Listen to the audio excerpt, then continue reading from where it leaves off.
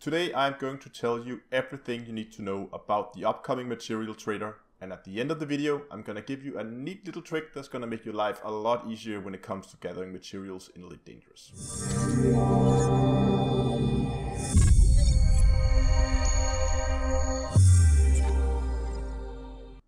Hello ladies and gentlemen and welcome back to Elite Dangerous with Down to Earth Astronomy. Today we're looking at the Material Trader. This is a new upcoming feature in the Beyond series that allows you to trade material from one tier to another. Um, so if you have a surplus of one, you can get some other materials or data for that matter. But first of all, there are three base types of material traders. If you go in here to the galaxy map and we go over here and select uh, services from this menu, we can now see we have material trader raw, we have material trader manufactured and material trader encoded. The raw material trader will trade um, base elements like iron and nickel, um, the stuff you will normally pick up from rocks on the surface of a planet. The manufactured material trader will trade in the stuff you would find lying around at Dav's Hope or at uh, the, the, the tanker. Um, so that would be like uh, chemical manipulators or stuff like that. Um, and the encoded one is the one that it trades in the data, so like wake exceptions, cracked industrial firmware, modified, modified firmware, that stuff that you have in your data storage. It seems right now though on the beta that uh, that the filters here are not working. You can see none of these um, uh, filters are doing anything to the stars, even though I know some of the around surrounding systems here do have material traders, especially the system that I'm currently in. Um, so I hope this is something Frontier is going to fix before this goes live. I, assume it is at least. Oh, now, now it's working. See that one light up there. Okay, so it, it's somewhat working. It's worked a little bit, but it's still a little janky. Um, but anyway, um, so when you go into uh, to your main menu here, you go into contacts. You can now see you have a material trader. And this one here is a encoded material trader, as you can see. So I've not found anyone that has multiple different. I'm not sure if that's even possible. Um, so I guess we'll have to wait to see about that. But I don't think you can have multiple material traders at the same station. You'll have to move around.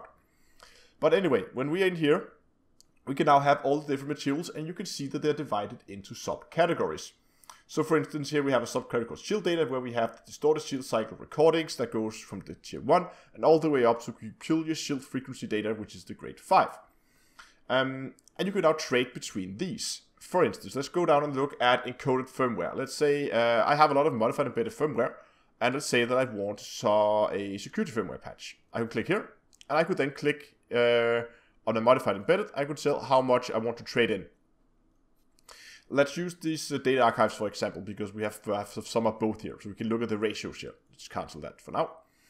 So if I want classified scan fragments, I would click it and I want to trade in Divergent scan data. We can see here that I have a 6 to 1 trade ratio. That means that I'm trading in 6 Divergent scan data to gain one classified um, scan fragment. And if I'm trading the other ways, that's trading downwards. I'm no, sorry, that's trading that's trading upwards. When I'm taking a lower material and trading up to a higher higher grade, I pay six to gain one. But if I trade down, so if I want the Divergent scan data, we can see now that the trade ratio is 1 to 3. That means that I'm paying one of the higher tiers to get three of the lower tiers. So it's more efficient to trade downwards than it is to trade upwards. Um, because well, yeah, yeah, you get even though you get less here, but it's it's a lot more expensive. You have to pay six to uh, to get one here, while you will only get three in return. So it's very expensive to trade upwards. Um, and that's important because of the new way that materials is stored. If we go over here to our inventory, we can now see that where we before had a maximum cap of a uh, of a thousand material materials, I think 500 in data, from the other way around, can't remember. That doesn't matter. From now on, we're gonna have a cap of 100 on each material. And that's gonna that's mean when you go out and you look for new materials, there's absolutely no reason why you wouldn't pick up everything you find. So when you're at Dav's Hope, you pick up everything. When you're at the tanker, you pick up everything. If you have collector limpets. When you're out doing bounty hunting, fit a collector limpet controller and just have a limpet fly around and pick up everything that the ship drops. There's no reason not to.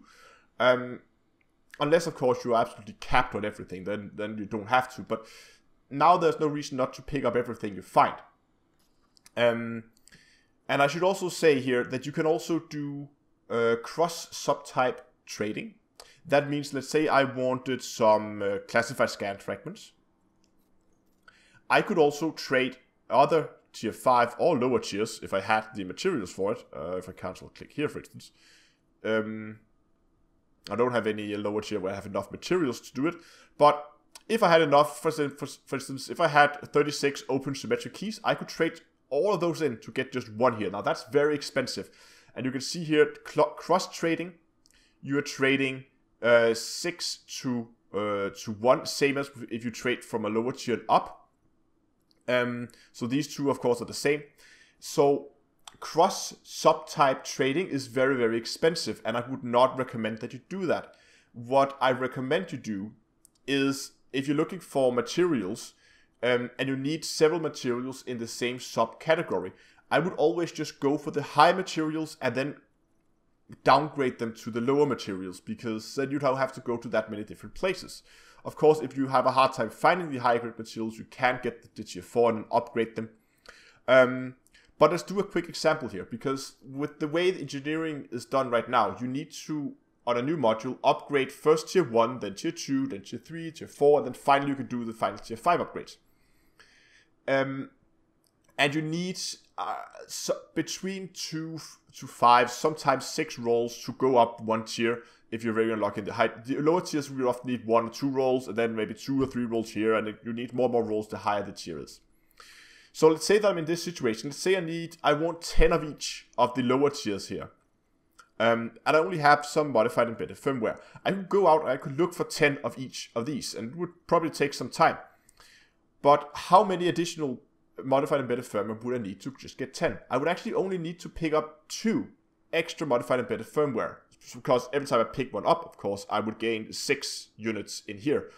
Because let's say that I um, that I take here and I want some uh, security firmware patches, and I want to trade in some modified embedded firmware. I'll do that, and I could trade in 5, confirm the trade, gives us five, 15 security firmware patches.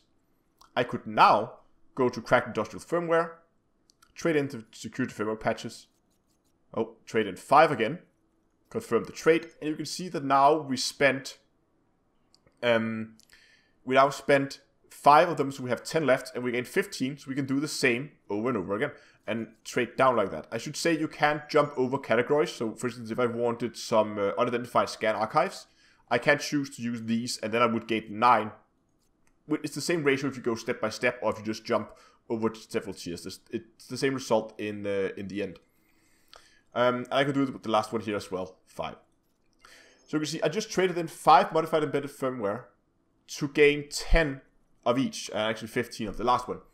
So if you're out and you're looking for the, you uh, need the higher tier materials anyway, and you're farming for that, uh, grinding for it, whatever you're doing, um, I would just recommend picking up a few extras so you have everything on the lower tiers as well. Because picking up two extras will give you enough to upgrade the module all the way up to tier 5. So that's a very, very, um, very useful uh, tip. But if you don't want to go to this material trader every single time to look what the different subcategories are, I have a little trick for you. And that is to use the spreadsheet I made some time ago. Um, many of you are already familiar with this, but some time ago I made a spreadsheet with all the engineering materials, as you can see here. Um, and all of them, or most of them, have links to video guides where I describe how you can get them, where you need to go, what you need to do to get the specific material. I use this a lot myself. I originally made this just to myself, but then decided that why not just share it with the rest of the community because a lot of other people probably find this very useful as well. You see there are some um, some missing ones here and there, but there is, in general, there is links for pretty much all the major materials you're going to need. And I have now added the subtype in here along with the grade. So let's say that I needed cracked industrial firmware. I would go and I would look up cracked industrial firmware, which is right here. It's of course data, and it, it says here that the subtype is encoded firmware patch. So now I could go up here, if I highlight these, uh, the top uh, columns here, just the names here, highlight those, go to data, field of view, create temporary field of view. When you do that, you now gain these drop downs. So I can now go to the subtypes, I can clear it, and then go and find the encrypted firmware. And now it only shows me the materials within that subcategory. I can then go and look and see where can I get those different um, different materials. There are video links out here. Um, and then you can just go and figure out what you want to do. For instance, you can see here, okay, we want to go and look at the um, at the modified embedded firmware because that was the grade 5 one. Wait, that's not right oh yeah, modified embedded firmware. Um, I would then go and I could uh, could look at the um, at the video. There we go, and uh, then that takes you to the video that describes what you need to do.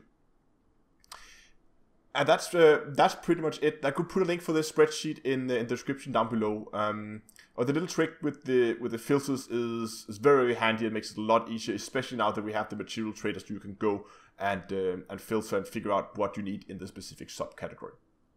But anyway, if you found this video useful, give it a like down below. Remember to subscribe to the channel, and if you want to support the channel, there's also a link to Patreon down below. Thanks a lot for watching, and until next time, I will see you guys in space.